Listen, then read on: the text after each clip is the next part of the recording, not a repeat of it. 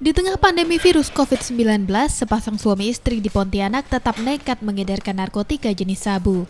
Sepasang suami istri berinisial L dan Y ini mengedarkan sabu dengan modus berjualan di warung kecil yang mulai beroperasi pukul 3 sore sampai pukul 3 dini hari.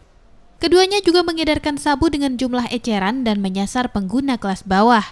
Dari tangan kedua tersangka diamankan barang bukti satu klip narkotika jenis sabu seberat 15 gram beserta 20 paket klip kecil lainnya. Kita melakukan penindakan di Kampung Keting, berhasil diamankan pasangan suami istri yang sehari-harinya dia membuka lapak narkoba dan menjual dan pada saat diamankan didapatkan barang bukti kurang lebih 18 gram itu adalah sisanya di mana dia sudah menjual dari jumlah yang dia terima sebelumnya dan ini merupakan target yang sudah lama di mana istrinya terkenal di dalam dengan panggilan Bok dan suaminya kebetulan adalah residivis dalam kasus pidana umum.